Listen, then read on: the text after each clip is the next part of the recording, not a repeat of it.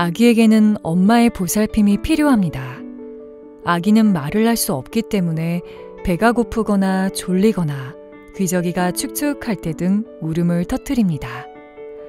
이때 엄마는 아기에게 관심을 갖고 그들의 필요를 채워주며 반응을 해야 합니다.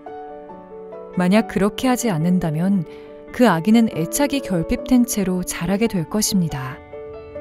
따라서 엄마는 아기의 상태를 잘 확인하고 그에 맞는 반응을 보여주어야 합니다. 지난주에 우리는 죄로 인해 타락한 사람의 상태를 배웠습니다. 모든 사람은 하나님과의 관계가 완전히 깨어져 버렸습니다.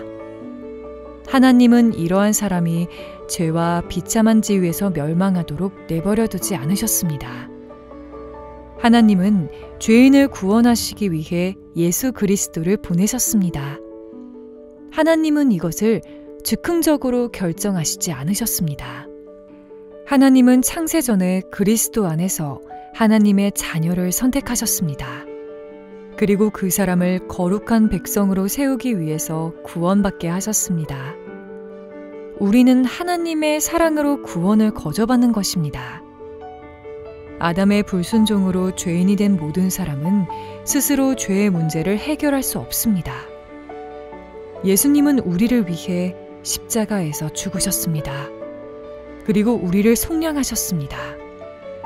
속량은 노예를 위해 그의 몸값을 지불하고 자유인이 되게 한다는 의미입니다.